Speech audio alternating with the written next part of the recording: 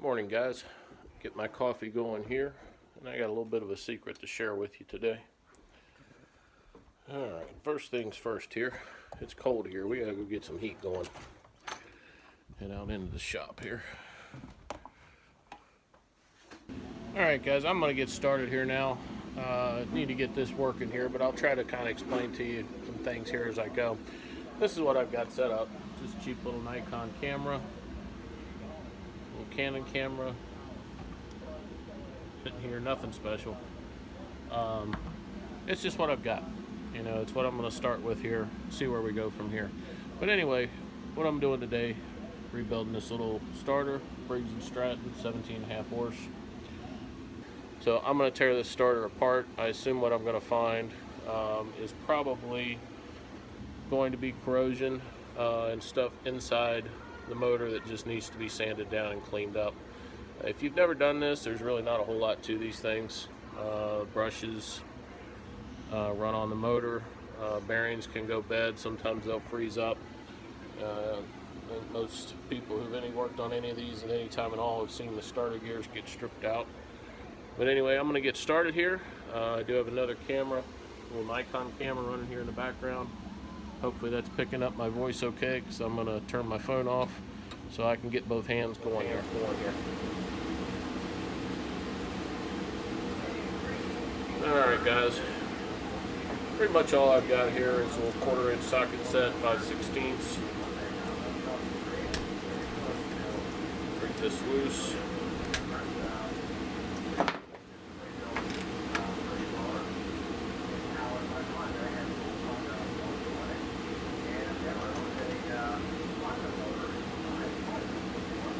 Alright, just two bolts here.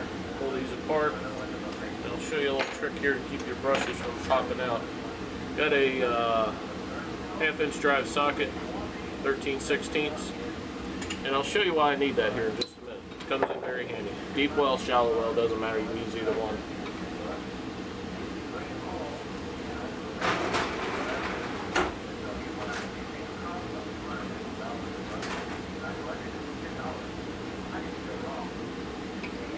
Okay, once you get the bolts out, pull that off.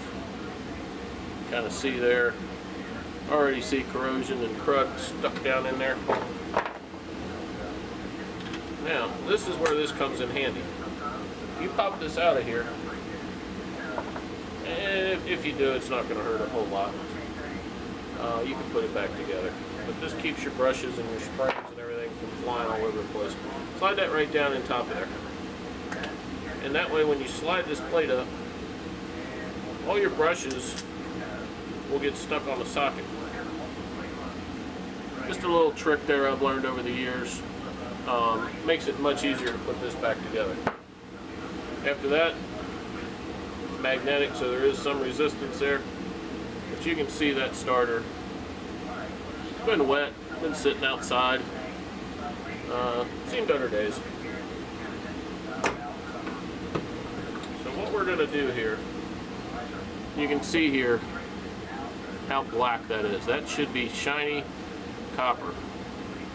That is where the contact is made inside the starter. When this gets black and dirty like that, um, bearing looks okay. This spins free, so I don't have a bearing issue. It really is just a dirt corrosion and crud issue. All I do, clean this thing up, uh, my air compressor is on here. Oil this off a little bit, just get anything out of there you can.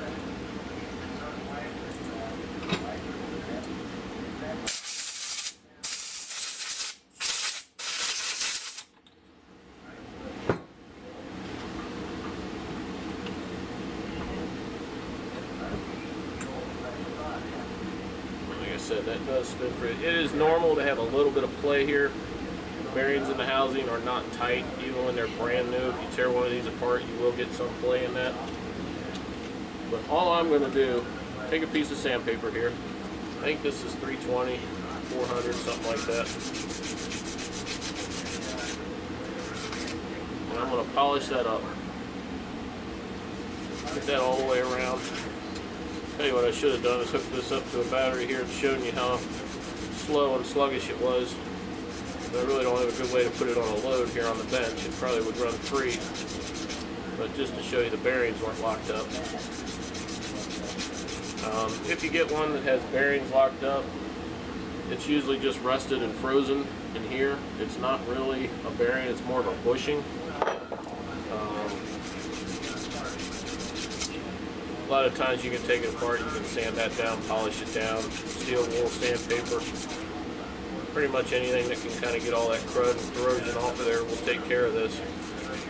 But this is really a simple job. Uh, it's really not something that you need to go out and buy a brand new starter for most of the time. Um, these do go bad to where you cannot do this and get them running, but there are a lot of times you can. Uh, if you're doing this as a hobby on the side or to make money, you want to try to save as much money as you can. Anyway, clean that up.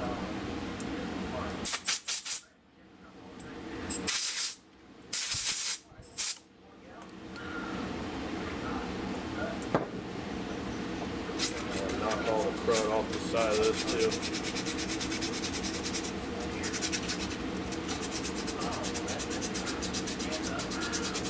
All I'm going to do is clean that up. Take this, um, this is magnetic, so there is all kinds of magnetic particles in there. We'll try to blow this out a little bit.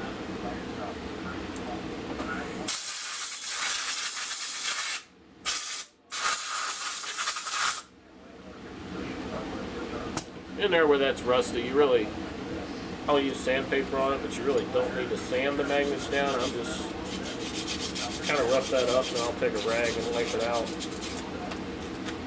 Get that done, we'll blow it out again.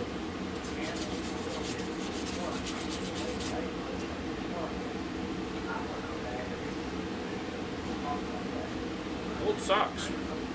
Perfect for rags in the garage.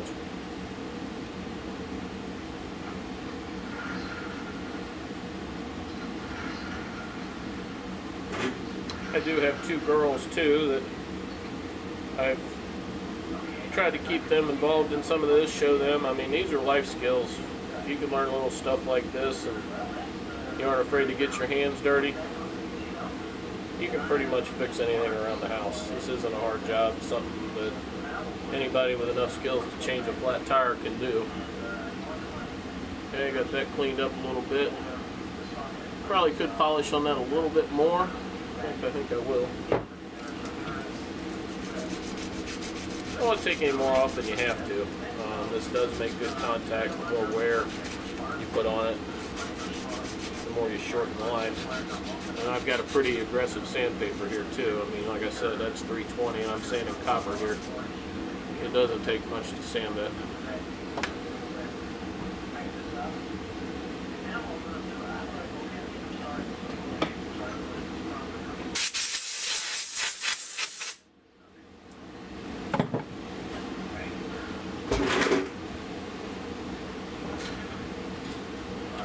What I like to do is take a very small amount of oil and I squirt it right down in here.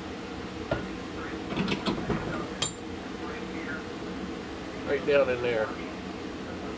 And when I say a small amount, it does not take much at all. So it's more than I really want to. And I put a little bit on here. Um, when you engage the starter, it slings that out the flywheel. And that just kind of lubes everything up there before you put it back together.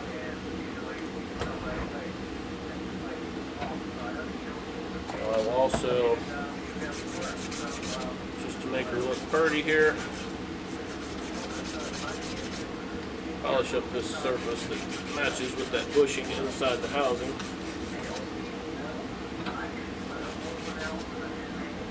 That just ensures everything is clean. And I'll drop a little bit of oil down in there.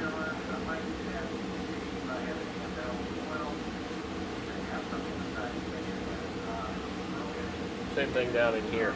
You just kind of clean that out. Sometimes there'll be really dried, corroded grease from the factory that's not doing much anymore. Put another drop of oil or two in there. That's that's spinning free. We don't have a bearing issue, guys. This starter should fly like crazy when we hook her back up. Now the other thing I like to do, where the brushes are at in here, you've got four brushes with the wire connected to your starter wire. If this is corroded, chances are these are a little bit too. You can kind of slide your socket down a little bit, spin that away, and look at the surfaces here. This is a surface that would ride on that part there. Make sure none of those are cracked. Make sure all these wires are connected. You will find these where somebody's cranked on them so much that it's burned and I just popped it apart. So we'll show you how to put that back together. Um, where somebody has cranked this so much that they've actually burnt these wires in two or melted this plastic piece that goes inside of it. Um, this really isn't that big a deal to get this back together and luckily everything stayed right here. It didn't go flying off. The brushes look good. Plenty of life left in them. I'm just going to push them right back in there. You only need about 14 fingers to get this done. And that's where the socket comes in handy. Um, I've used pop rivets, toothpicks. Um, you can put them in from the back side there and it'll hold all this together. We'll see if I can do it. Just everything lined up here and put my socket back in there if I can.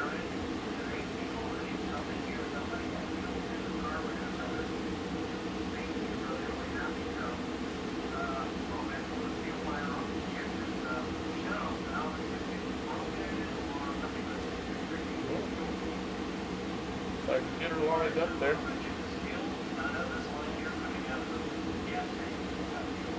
She's not wanting to cooperate though. There we go.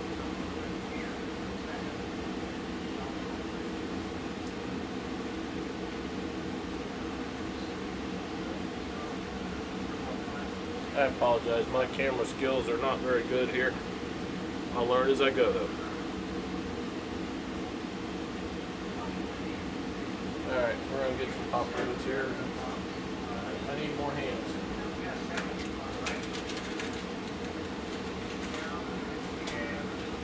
Like I said, pop rivets, nails, toothpicks, pretty much whatever you've got. Turn this over backwards. From the back side, just push that past that point and you can kind of slide that down in there.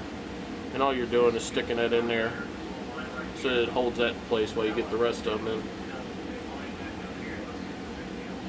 My fat fingers are hard to get down in there and hold everything and push everything together. This just kind of helps me with that.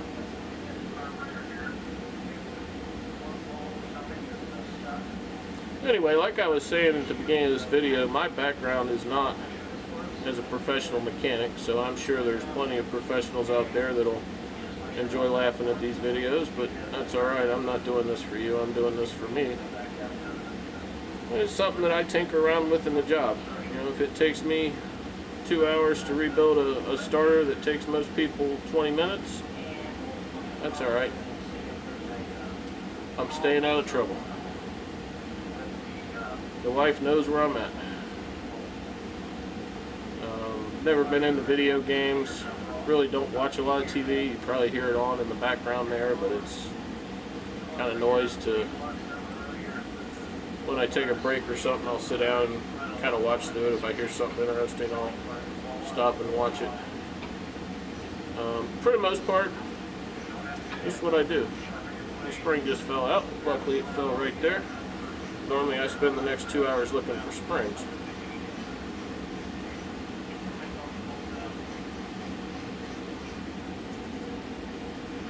Probably an easier way to do this. Some of you professionals want to tell me the easier way to do it. That'd be awesome. So I've done this a few times.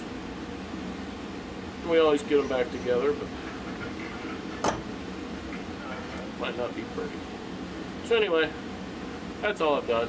Just pop rivets hold the brushes in. Lay that down. I'll blow this out a little bit.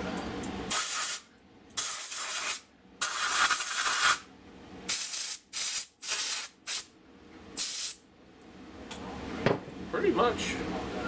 That's all there is to it. Now on this housing, there is one of these four notches that's a little deeper. That's where your starter connection wire goes in. Uh, it's helpful Make sure that goes back on in the same spot. So when you put it back on the mower, your starter wire doesn't wind up against the block or someplace where it's just not going to fit in. Um, call it the castle, but the notches go towards the opposite end of the starter gear. And now I'm going to try to do this without losing these brushes out of here again. And I think I'm going to slide my socket back in there. Everything kind of put together here the way it needs to go. Slide this down in there. And then I can pull those pop rivets out. So again, we're back where we started. Now at this point, set my socket down on there. Now you will have to take something and push those back. and get a little screwdriver for that.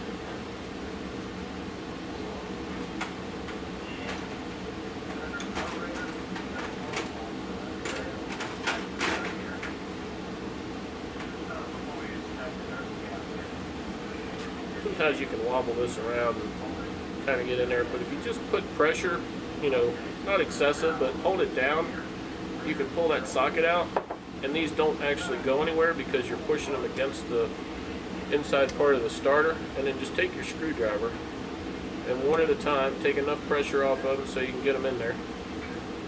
Um, if you've ever done any lock picking. This is kind of like picking a lock not that I know anything about that. But anyway get all that together there. Make sure you're flush everything's spinning as it should. It wasn't up against my vise okay everything's lined up where it started. Clean that off a little bit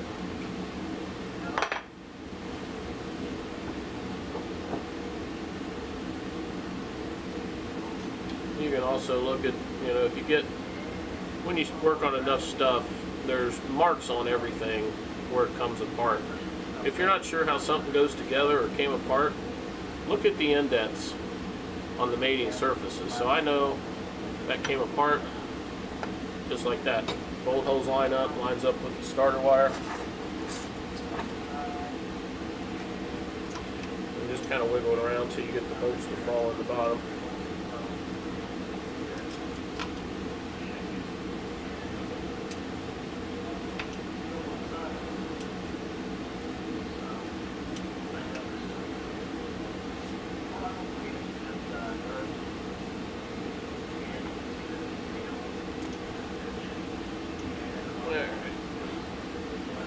that before I drop the bolts in there.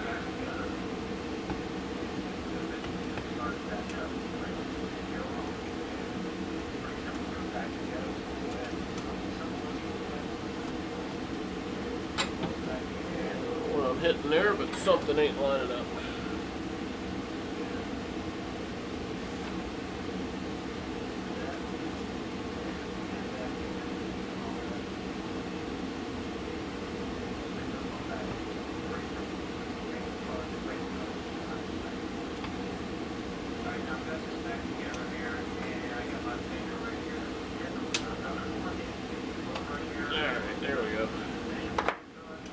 off a little bit.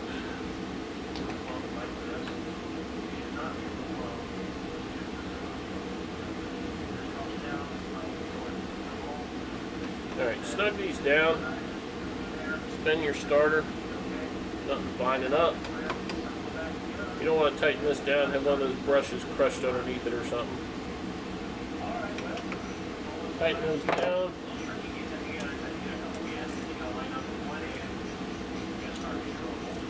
I don't know the torque specifications on these, but I call it one finger tight. Snug, not tight. You'll easily snug these out if you're over tighten it. Let me grab a battery.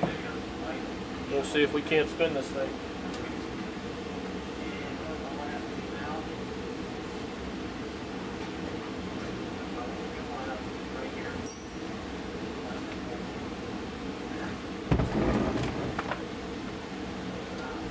Alright, just a little $20 Walmart battery. All you gotta do here is put your ground cable on your mounting plate. Sure you wiggle it, get good contact there. A little corrosion on it. I don't see a little sparks here, but you should see this thing run.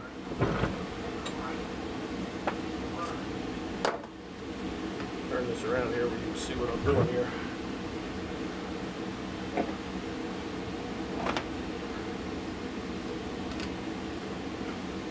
Alright, all I'm going to do then, once I got the ground on, touch this to the post where your battery terminal goes. Sounds good. No whining, no squealing, the starter. Uh, yeah, don't do that. That's not good at all.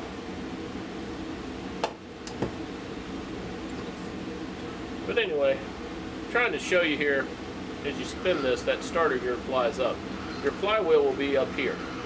So when this engages, it comes up to hit the flywheel, everything runs, it goes back down. So make sure that's working. She got some torque now. But she sounds good. And that's really all there is to rebuild one of these things. Unless it's got something more serious going on. That's pretty much it we'll throw it back on and see what happens here. All right, guys, a couple things here um, before I get started here. First off, if you've stuck around this far, thank you very much. This is all new to me. Um, at least the video portion of it is anyway. Um, been a learning curve trying to keep track of what I'm doing here and making sure I'm uh, keeping you guys informed too. So again, sincerely thank you. Secondly, um, since I put starter back together, took a little break, ate some lunch, um, watched the video to kind of see where I'm at here. And one thing I realized there was a lot of noise in the background, so apologize for that. Um, I've since turned the TV off, turned my uh, little heater off, uh, at least while I'm doing video. Uh, should be a lot lot quieter. Should notice that now.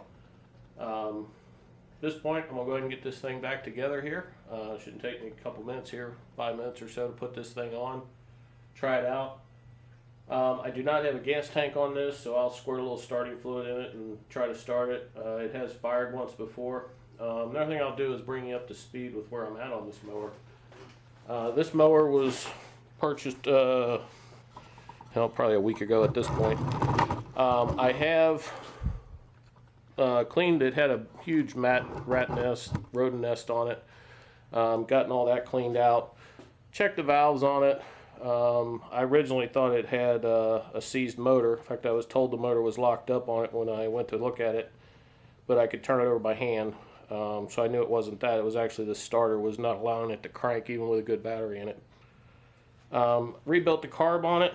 Uh, the cable that engages the deck was broken. I replaced that. Um, starter now.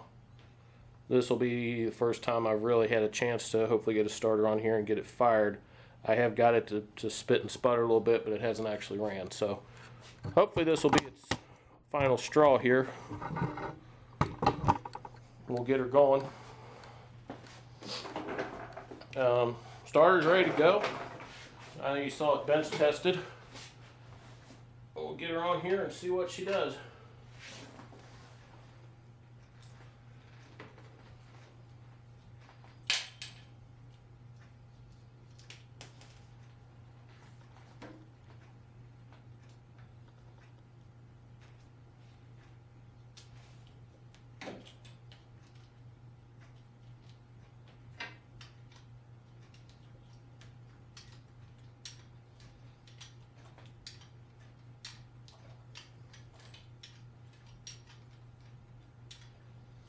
You've ever put one of these together and the bolt on the bottom is loose, make sure you get a wrench um, on this bottom nut because you will twist the wire off inside the star that we just put back together uh, if you don't.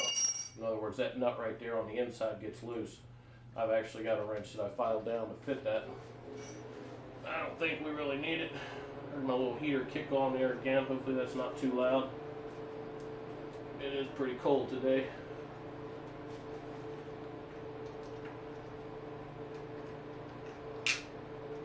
One of these bolts does have a little clip that holds your wires up out of the way, make sure you get that on there and don't tighten it down on the wires.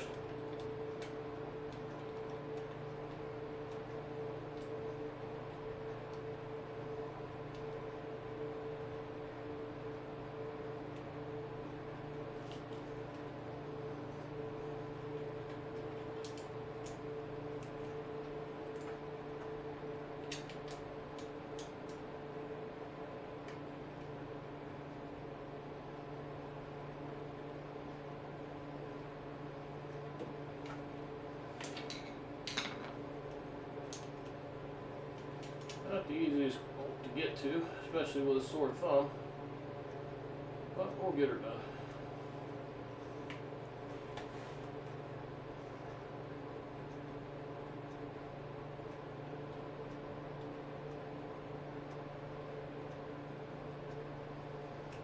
Alright, that is a Torx head bolt, but I just got a Phillips screwdriver laying here to get that most of the way in a little quicker.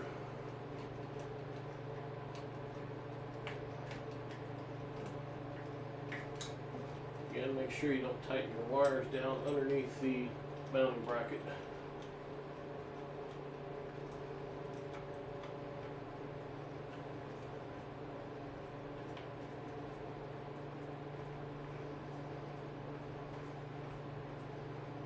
One thing I don't know how I'm going to do yet is edit this video.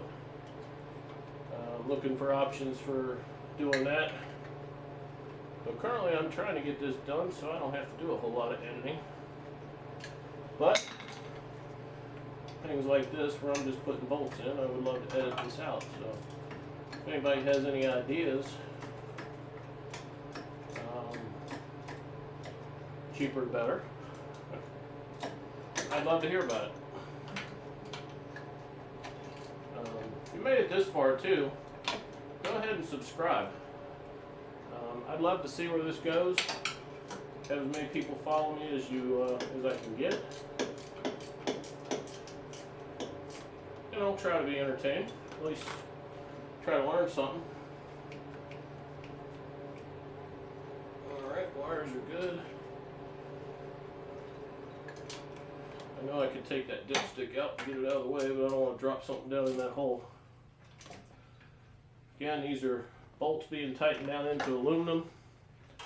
You definitely want them a little above snug, but you don't want them so tight that you're going to strip them out. I'll call these two and a half finger bolts. My official term. All right. I got my wires hooked up. One thing I just realized I did not do was unhook the battery. Um, I would strongly suggest doing that before you work on anything like this. Not that there's anybody else out here with me, but you can't easily short that battery cable out. Alright, nothing in the uh, way, feed out from underneath the blades. One quick tap here, see what we got. Alright. Alright, like I said, I do not have any gas in this thing. I will grab a can of starting fluid here though. Quick shot in here and see if we can't smoke up the garage a little bit.